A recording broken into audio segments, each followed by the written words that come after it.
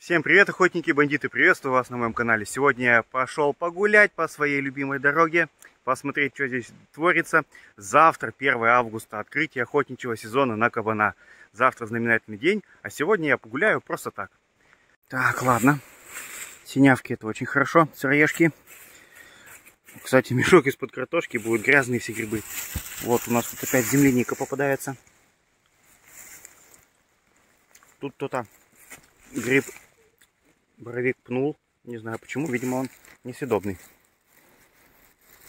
Здесь же на входе еще одна синявка. Ну какая-то она. Вообще-то возьму, посмотрю, может она нормальная. Посмотрим. В суп все пойдет. Вот у нас у людей какое-то предвзятое мнение, им надо сразу идеальные грибы.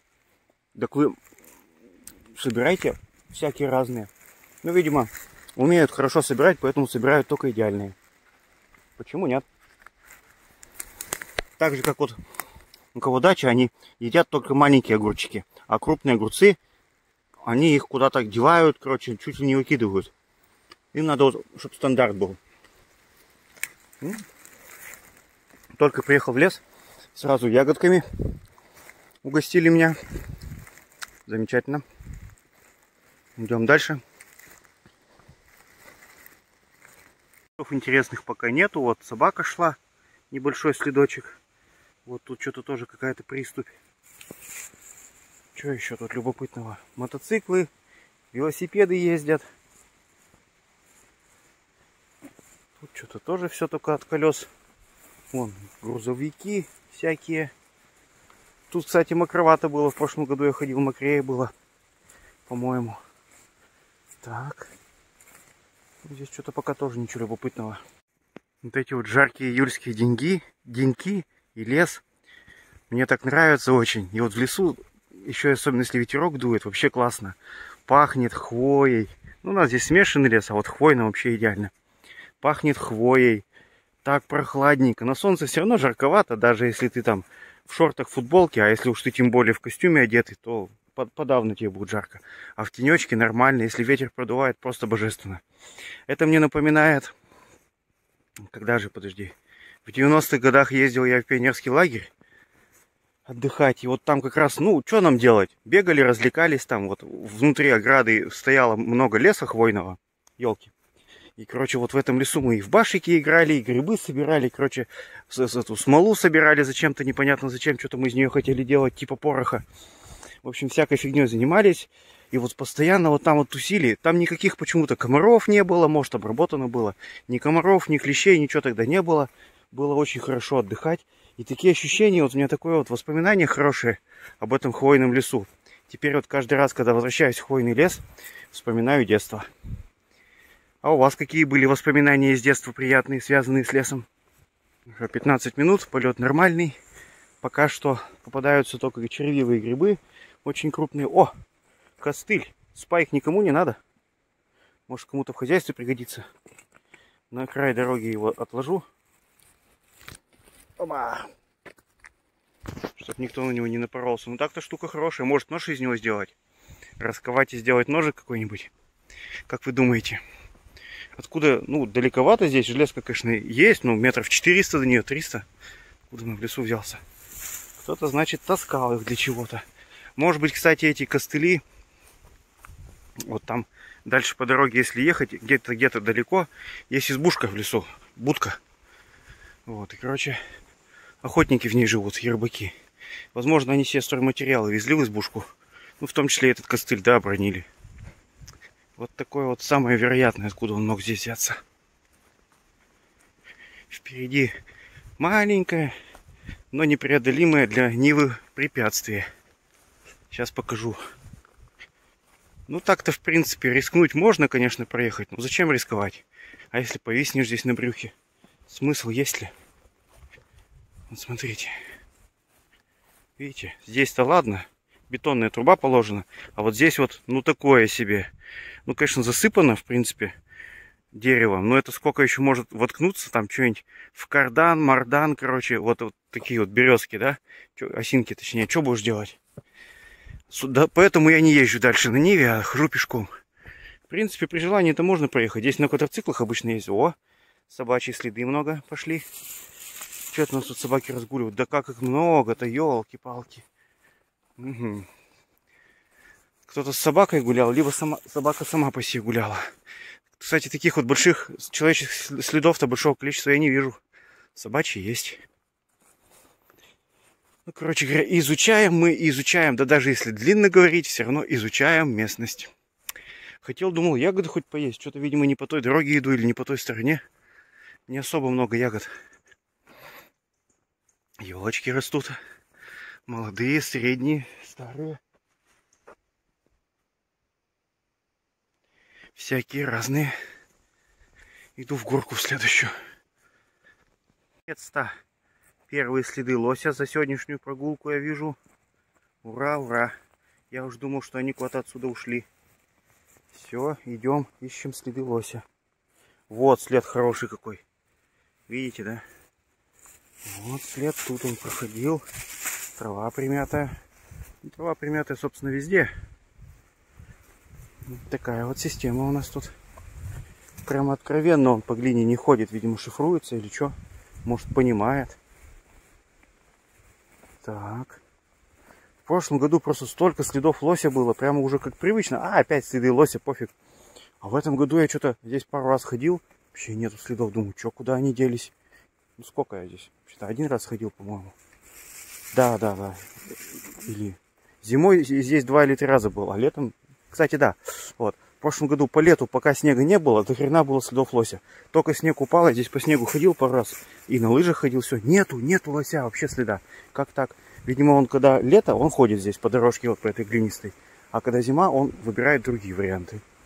Где-то по другим тропам ходит. Как-то так, сезонно у него. Ну, сейчас иду опять. А, как бы, получается, следов-то нету лосиных. Не сто процентов он ходит по этой, по дорожке. Он где-то у него свои тропы. Ну, переход один был, получается. Так, ищем, ищем.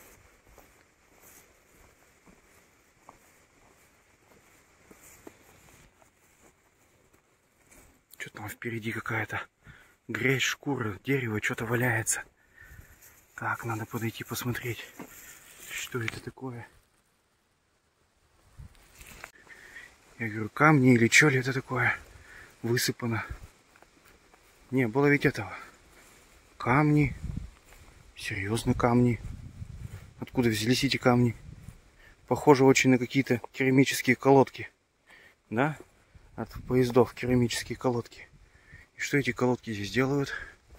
Ладно, подходим дальше. Здесь есть одно зачетное лесное озерцо, мини-озеро Макролужа. И на нем обычно какие-то бывают встречи. Так, под ногами смотрим, чтобы не упасть и не утонуть. А здесь уточка. Уточка полетела, красоточка. Вон, пошла, пошла утка, пошла. Все, здорово. Одна уточка сидела утонуть. А здесь уточка. Уточка полетела, красоточка. Вон, пошла, пошла утка, пошла. Все, здорово. Может и не одна, просто остальные меня еще не увидели, спят. Так. Вот еще эта штука взлетела и срет на ходу. Или ноги, лапы отряхивает. Ноги свои. Да, место-то интересное, конечно. Еще кто-то там в лесу шерохается. Вот видите, утка взлетела. Значит, хорошее озерцо это. Лесное, классное. Так, пройду еще вдоль него немножко. Может, следы какие-то будут. Ну, следы, естественно, будут. Вот следы лося. Входящие, выходящие, исходящие сообщения. Вот здесь. Ну, короче, озеро это прямо притягивает. Еще какие-то следы странные. Это очень хорошо. Это радует. прекрасные места. Честно вам говорю, очень хорошие места. Замечательные. Этого лесного озерца небольшого. Ай-яй-яй. Красноголовики растут. Тут вот еще вот такие интересные ямы выкопаны. Это кто тут что делал в ямах этих? Кабан копался. Корни подкапывал, наверное, да? Ну что еще подумать? Под елкой. Либо зимой здесь какое-то было полуснежное логово, И вот земля откопана. Ну, что-то такое есть, явно. Ну, человеку зачем в лес так далеко идти землю покопать, правильно? Нелогично. Еще и лезть в кусты. А зверю вполне подойдет. Так. Решил тут немножко изучить. Вот, и тут сколько грибов. Даже вон есть уже уроненные, пнутые кем-то. Белые. Ладно. Я обычно срезанные и, ну, которые уже снятые грибы с корня не беру. Пока, слава богу, у нас нормально все с этими, с продуктами. Вот. Так что лишний раз не беру. Если кто-то срезал, значит гриб не очень, да? Значит гриб чем-то не понравился. Но если пнутый гриб, ну пускай уже он доживает свою грибную жизнь, выкидывает споры, и все нормально будет у него. Зачем его забирать с собой? Так, я тут просто хочу изучить окрестности этого озера. Что тут вообще есть? А тут у нас просто замечательная тайга. Такая как бы густая, буреломистая, как на Широковской прямо. И чем она характерна, то что для человека здесь мало пригодно, а для зверей как раз очень пригодно. Заросли всякие, качкарники эти, всякие вот такие вот места они очень любят. Текс. Ладно. Так, так, так. Хорошие местечки. Мне кажется, здесь люди даже редко лазят. Здесь возле озера есть семейки. Мухоморов. Раз, два, три, четыре, пять, шесть, семь. Семь штук. Восьмой вот здесь растет. Фу, девять, десять. Вот это семейище. Мухоморный рай просто. О, это просто, это белый. Белый ведь это. Ну-ка, сейчас посмотрю, что тут грибами у нас как дело обстоит. Какие-то галлюцинации, что ли. Вот слышу, что там впереди ближе звук шагов, как будто ходит кто-то, а дальше звук двигателя. Но если двигатель едет, вряд ли кто-то там будет ходить. А если кто-то ходит, ну, короче, ничего не понятно. Грибов здесь немало, но в основном червивые. Вот, сейчас только вроде пошумел, перестали эти звуки хождения. Вон, смотрите, какой муравейник красивый. Так, едет это, получается, слышно, железная дорога. А ходить мог человек или лось. Рябчик, блядь, сидит. Вот бесстрашный, а.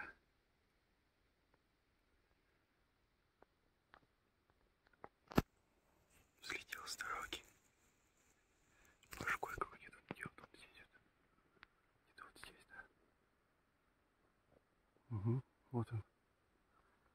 Блин, я его вижу, вы не видите.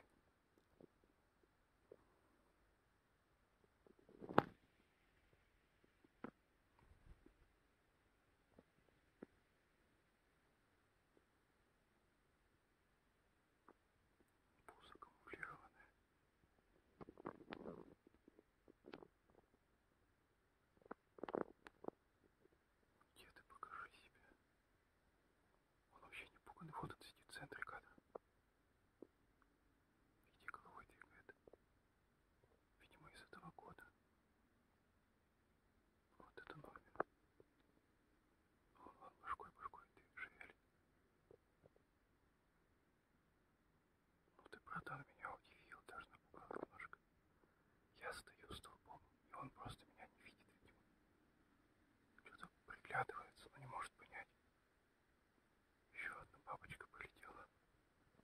Капец. Первый раз рябчик так близко снимаю. Все, улетел. Улетел парнишка. Здесь у нас рябчик аккуратненько посрал под этот, под листик. Думал, загасит говно, и никто его не заметит. Культурный парень, конечно, приятно, что даже лесные звери культурные прячут свои остатки жизнедеятельности. Вот этот, наверное, рябчик, который только что сидел на ветке, меня разглядывал, вот он там, наверное, и насрал, скорее всего. Один же он здесь. Может, не один. Может, он с семьей. Здорово. Охота. Ну, фото охота удалась точно. К вопросу о хреновых и хороших дорогах. Вот мне никогда не нравилось гать Здесь у ее участочек небольшой. Когда едешь на Ослянку, там до хрена прямо этого деревянной этой дороги. И вот здесь вот, по которой дороге я сейчас еду, в районе Углеуральской, здесь лес рубят. Короче, лес рубят, они себе сделали дорогу, смотрите как. Получается гать с краев, вот видно, деревяшки торчат, засыпано коксой или каким-то шлаком. Ехать идеально вообще. Ну, им-то понятно, что надо на грузовике вывозить лес. Видите, сбоку березовые эти кончики торчат, вот здесь тоже, да, и засыпано шлаком. Просто идеально, идеальная дорога, ровная, ровнее, чем обычная грунтовка. Вот, если бы все так относились, да, добросовестно, то тогда было бы, конечно, очень идеально нам ездить. Но опять же, видите, тут-то коммерция под себя организует дорогу. А на Ослянку-то не коммерция, никто, просто люди ездят отдыхать, поэтому кто там сильно будет заморачиваться по поводу дороги. Лучше машину более внедорожную купят. Вот такой вот мой отчет. Ну вот смотрите, дорога-то идеальная. По-моему, вот бугры эти остались, но здесь грейдером даже проходят, насколько я помню, весной там, раз в несколько лет. Проходит грейдером. Благодарю за просмотр, подписывайтесь на канал, ставьте лайки, всем пока.